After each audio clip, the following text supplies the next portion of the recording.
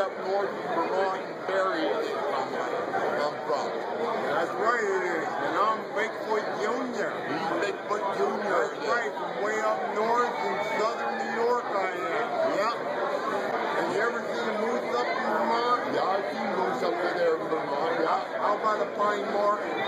Pine Marten? A pine marten. It's like a little weasel animal that lives in the pine. Yeah, yeah, I've seen that. Yeah, yeah, yeah, yeah. What about maple syrup? You like maple Yeah, I syrup? Like You like maple syrup? Yeah. This is the man right here. It's Yeah. fucking Bigfoot. He's the man. Yeah. All right, thank you, buddy. Right on. I appreciate it.